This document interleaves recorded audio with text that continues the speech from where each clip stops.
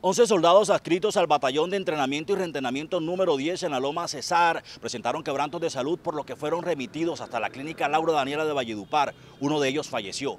Se trata del joven de origen guayú Luis Eduardo Ipuana Epiayú, cuyo cuerpo fue llevado posteriormente hasta la morgue de medicina legal de esta ciudad para la necropsia. Según el reporte, se descarta que estos casos estén relacionados con COVID-19, por lo que continúan las investigaciones para esclarecer si se asocian o no a los casos de Chaga por el que perdieron la vida dos uniformados y mantiene a otros siete en un centro especializado de Bogotá bajo cuidados médicos.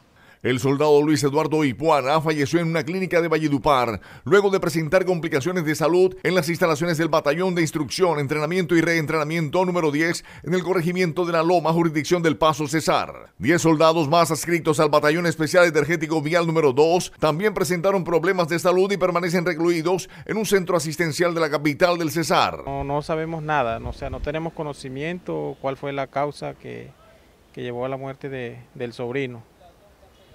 Eh, solo sabemos que el día lunes por la tarde falleció y nada más.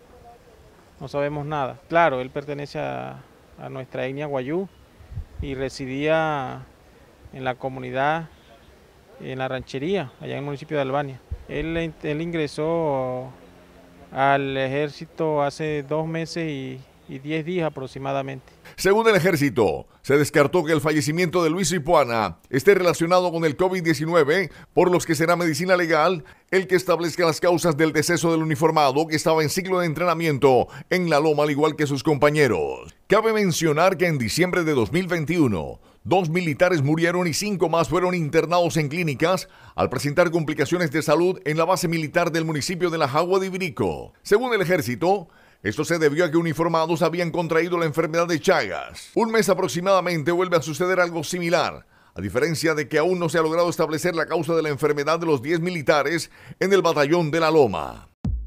Multiservicios y mantenimientos del Cesar SAS. Nos destacamos en diagnósticos efectivos y reparaciones. Contamos con el servicio de la tonería y pintura Brindamos diagnóstico automotriz computarizado de última generación.